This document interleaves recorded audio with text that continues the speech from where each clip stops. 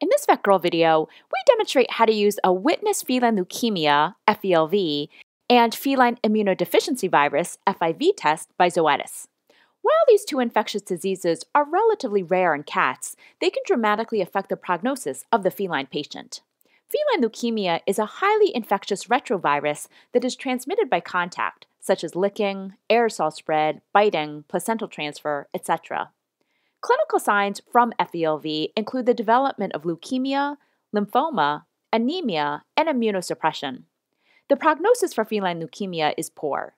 The diagnosis of feline leukemia is based on detection of protein P27, a viral antigen. Feline immunodeficiency virus, or FIV, is also a highly infectious lentivirus and can result in the clinical syndrome of immunosuppression. The prevalence of FIV is reported to be 1 to 20%, depending on the geographical location. FIV is also transmitted by contact, such as licking and biting. Other clinical syndromes include lymphadenopathy, anemia, neurologic disorders, opportunistic infections or tumors, stomatitis, and gastroenteritis. The prognosis for FIV is generally considered to be much better as compared to feline leukemia, as cats can live with the disease for years.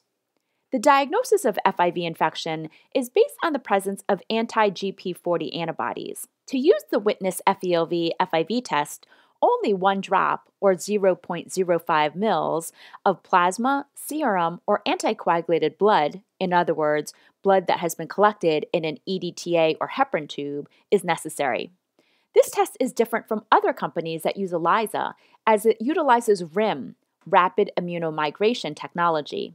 Results are available within 10 minutes and are easy to interpret in the results window for feline leukemia and FIV. Keep in mind that any quote ADR or ain't doing right cat with an unknown feline leukemia or feline immunodeficiency virus status should be tested, as a positive diagnosis may affect a pet owner's desire to treat based on the prognosis.